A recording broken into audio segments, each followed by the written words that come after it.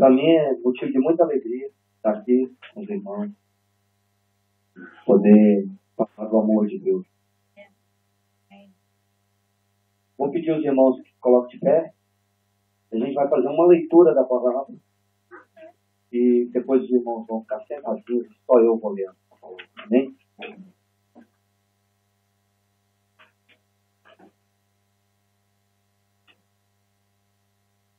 Aleluia.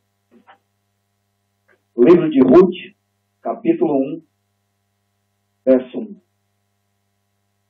Vou aguardar que todos encontrem. Aleluia.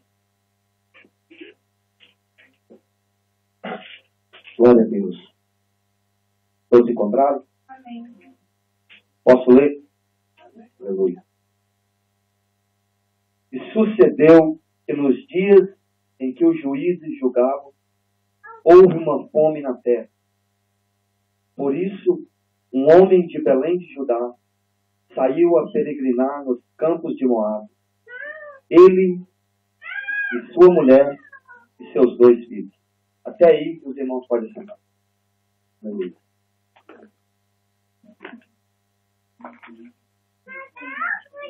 Irmão, você pode estar numa igreja repleta de pessoas. Você pode estar numa igreja lotada, uma igreja grande.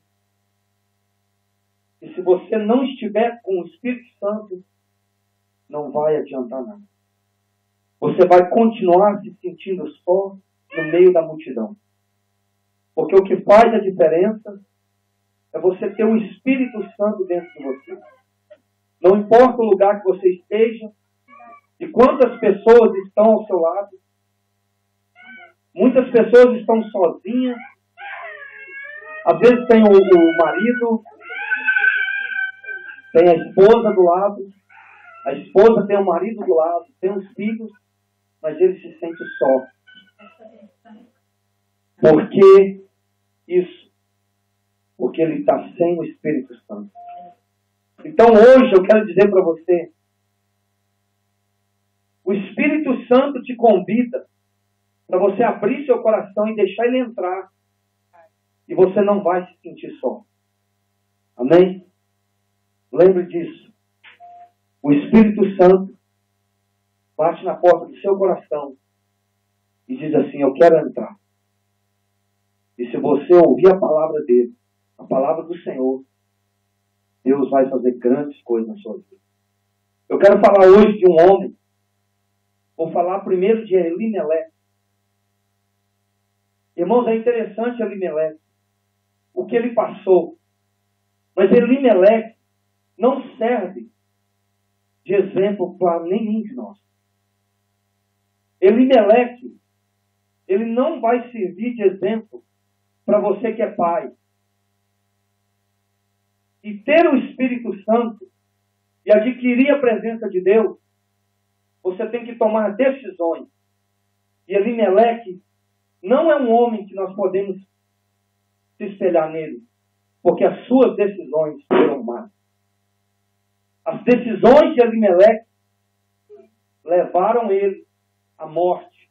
E mais adiante você vai entender isso.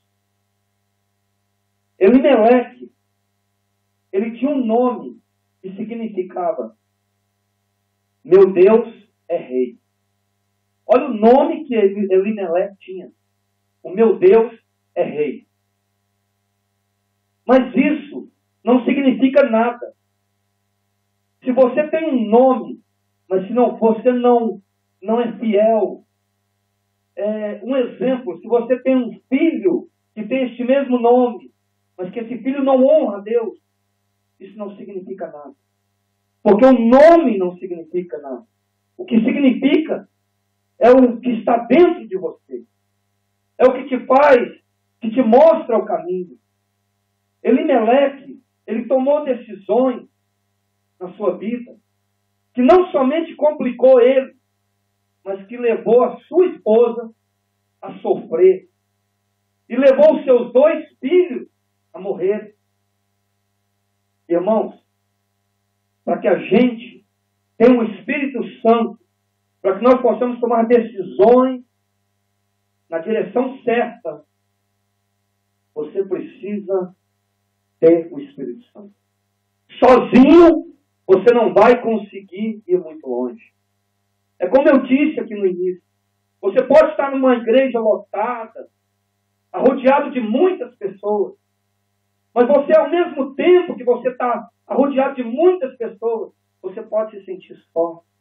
Porque quem te alegra, porque quem te dá força, porque quem te faz seguir adiante, porque quem te faz vencer as barreiras, não é quem está do teu lado, não é quem está é, na outra cidade vizinha, e nem mesmo o lugar que você vive. Isso aconteceu com Elimelech. Com certeza, eu notei aqui alguma coisa, com certeza Elimelech sabia que o Senhor era o rei dele. Ele sabia, porque ele tinha um nome que dizia isso. Os pais dele deram nome para ele e depois, com certeza, explicaram para ele o significado do nome. Então ele sabia. Mas mesmo assim, ele saiu a peregrinar. Por isso que as decisões são importantes. E você não pode tomar decisões certas e na direção certa se você não tiver o Espírito Santo. E para você ter o Espírito Santo, é simples, mas é necessário pagar um preço. É necessário é, ficar onde você está. Eu gosto muito de uma palavra de um pastor pregando que dizia: Não se desespere, mas espere. Desesperar jamais. Esperar sempre no Senhor. Porque Ele é que vai te dar a direção certa. Ele era, ele era Elimeleque. Ele saiu a peregrinar. E o que é pior, ele era de Belém de Judá. Irmão Erlen, mas por que pior ele ser de Belém de Judá? Eu já explico. Porque Belém de Judá significa casa de pão. Irmãos, Elimeleque tinha um nome que significava Deus é o meu rei. Elimeleque morava numa cidade que chamava Casa de Pão, mas que parece contraditório. Ele morava numa casa que chamava, num, numa cidade, ele habitava numa terra que chamava Casa de Pão.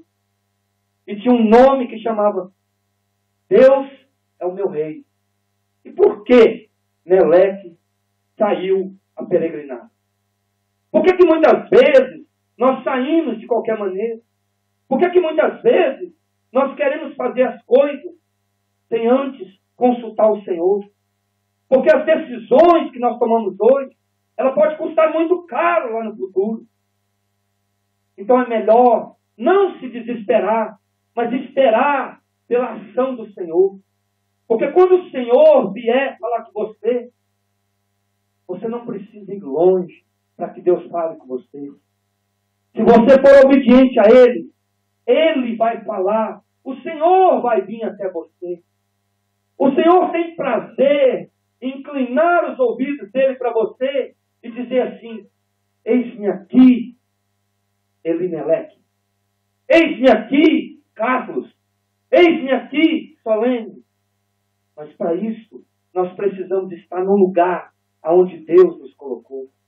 Nós não podemos sair peregrinando por aí de qualquer forma, de qualquer maneira. Porque acima de tudo, quando nós aceitamos a Jesus, nós temos que seguir os passos dele.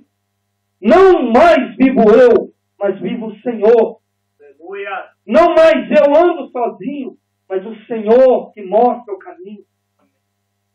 Agora não mais vivo eu, mas o Senhor vive em mim.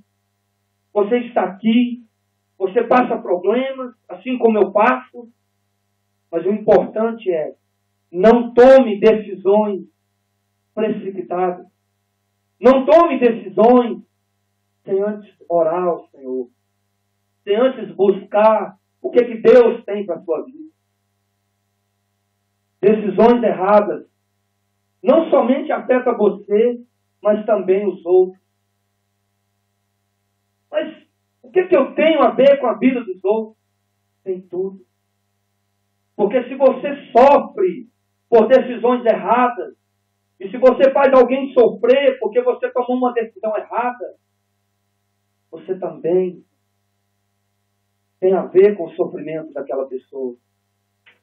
Mas eu estou aqui hoje ministrando, não sei se, não, se tem algum aqui que não é evangélico, mas eu penso que não. Eu estou ministrando para cristãos.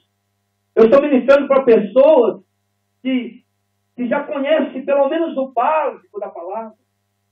Eu estou ministrando para pessoas que sabem que se clamar o nome de Jesus, ele vem e socorre você. Você não é um que está é, sem nenhum conhecimento. Então as decisões elas têm que ser tomadas dentro da vontade de Deus, dentro da vontade do Senhor. Um pastor estava pregando e ele perguntou para o membro dele, esse membro dele estava muito problema. E o pastor recebeu ele no office dele e disse, pois não, irmão, o que, que eu posso fazer por você dessa vez? Ele disse, olha pastor, eu estou com muitos problemas. Os problemas de sempre, que senhor já sabe, agora acrescentaram mais alguns. É mesmo, irmão? Então vamos fazer o seguinte, eu vou te dar duas folhas em branco. E numa folha você anota todos os seus problemas. Não precisa anotar os velhos, que eu já sei, mas anota os problemas novos. Os novos que já chegaram. Tudo que tem passado com você. E na outra folha branca você, por favor, anota o, as suas vitórias. Ele olhou para o pastor e disse assim, mas pastor, eu vim aqui para falar para o senhor que eu não tenho vitórias, que eu só estou cheio de problemas. E o senhor tem que me ajudar a resolvê-lo. E o pastor, então, disse: tudo bem, irmão. Continue anotando aí os seus problemas.